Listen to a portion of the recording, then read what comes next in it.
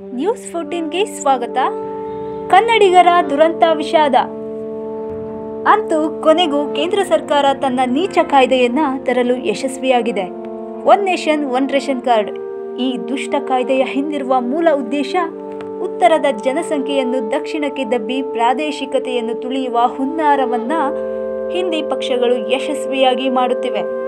ನಮ್ಮ ಜನರ ಅನ್ನವನ್ನು ಕಸಿಯುವ one nation one ration card ಎಂಬ ಯೋಜನೆ ಕೊನೆಗೂ ನಮ್ಮ ನಾಡಿನಲ್ಲಿ ಜಾರಿಗೆ ಬಂದಿದೆ. ಸ್ವಾರ್ಥ ಮತ್ತು ಧರ್ಮಾಂಧತೆ ತುಂಬಿದ ಜನ ನೀಚ ರಾಜಕಾರಣಕ್ಕೆ ಕರ್ನಾಟಕ ದಿನೇ ದಿನೇ ಕರಗುತ್ತಿರುವ ನೈಜ ಸತ್ಯ. ಉತ್ತರ ಪ್ರದೇಶ, ಬಿಹಾರ ಮತ್ತು ಬಾಂಗ್ಲಾ ವಲಸಿಗರಿಗೆ ಈ ಕಾಯ್ದೆ ಮತ್ತಷ್ಟು ವಲಸೆಗೆ ಪ್ರೋತ್ಸಾಹ ಕೊಡುತ್ತದೆ. ಕರ್ನಾಟಕಕ್ಕೆ ವಲಸೆ ಹೆಚ್ಚಾದರೆ ಜನಸಂಖ್ಯಾ ಸ್ಫೋಟವಾಗಿ ಬಡತನ ನಿರುದ್ಯೋಗ ಅನಕ್ಷರತೆ ತಾಂಡವಾಡುತ್ತದೆ.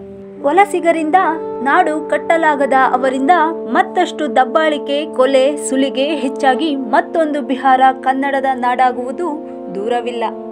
ಮಾಲಿನ್ಯ ನಗರಗಳಲ್ಲಿ ಕರ್ನಾಟಕ ಸ್ಥಾನ ಪಡೆಯುತ್ತೆ. ಮತ್ತಷ್ಟು ವಲಸಿಗರ ಸ್ಲಂಗಳು ಹುಟ್ಟಿಕೊಳ್ಳುತ್ತವೆ. ಕೂಲಿ ಕೆಲಸಗಳು ಪೈಪೋಟಿ ಬಿದ್ದು ನಮ್ಮ ಬಡ ಜನರು ಇದರಲ್ಲಿ ತುಡಿತಕ್ಕೊಳಗಾಗಿ ದಯಾನೀಯ ಸ್ಥಿತಿ ತಲುಪುವುದರಲ್ಲಿ ಯಾವುದೇ ಸಂದೇಹವಿಲ್ಲ.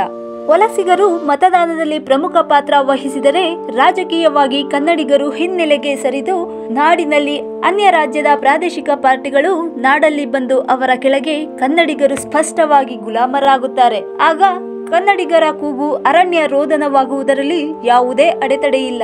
ನಾಡಲ್ಲಿ ಮತ್ತಷ್ಟು ಪರಭಾಷಿಕ ಸಿನಿಮಾಗಳು, ಪ್ರತಿಮೆಗಳು, ಕೊಳಗೇರಿಗಳು, ಅನಾರೋಗ್ಯಗಳು, ಸಮಸ್ಯೆಗಳು, ಪ್ರಾದೇಶಿಕತೆಯ ಸಾವು, ನಮ್ಮ ಇತಿಹಾಸದ ಸಾವು ನಮ್ಮ ಸಂಸ್ಕೃತಿ ಮರೆಯಾಗಿ ಪರ ಸಾಂಸ್ಕೃತಿಕ ದಾಸ್ಯತನ ಮತ್ತಷ್ಟು ಹಸಿವು ಇತ್ಯಾದಿ ಉಂಟಾಗುತ್ತವೆ.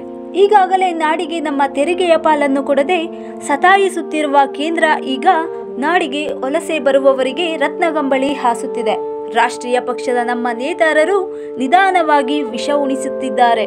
ವಲಸೆಯಿಂದ ಪ್ಯಾಲೆಸ್ತೇನಾ ಎನ್ನುವ ದೇಶ ತನ್ನ ಇಡೀ ಅಸ್ತಿತ್ವವನ್ನೇ ಜಗತ್ತಿನಲ್ಲಿ ಕಳೆದುಕೊಂಡಿತ್ತು. ಐಪಿಎಲ್ ನಿಯಮವಿದ್ದರೂ ವಲಸೆಯಿಂದಾಗಿ ಅಮೆರಿಕ ಕೂಡ ಇಂದು ಅನೇಕ ಸಮಸ್ಯೆಗಳನ್ನು ಎದುರಿಸುತ್ತಿದೆ.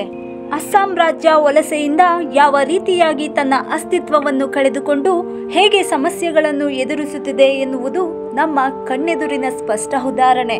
ವಿಶ್ವಸಂಸ್ಥೆ ಕೂಡ ಅತಿಯಾದ ವಲಸೆ ಮಾರಕ ಎಂದು ಹೇಳುತ್ತಲೇ ಬರುತ್ತಿದೆ. ಜಾತಿ, ಧರ್ಮದ ಅಮಲಿನಲ್ಲಿ ನಾನಷ್ಟೇ ಚೆನ್ನಾಗಿದ್ದರೆ ಸಾಕು. ನಾಡಿನ ಚಿಂತೆ ನಮಗೇಕೆ ಎನ್ನುವ ಹೆತ್ಲಾಂಡಿ ಕನ್ನಡಿಗರೇ ಸಜ್ಜಾಗಿ ಸಮಸ್ಯೆ ನಿಮ್ಮ ಮನೆಯನ್ನು ಹೊಕ್ಕಾಗಿದೆ. ಹೋರಾಡುವುದು ಇಲ್ಲ ಸಾಯುವುದು ಒಂದೇ ಬಾಕಿ.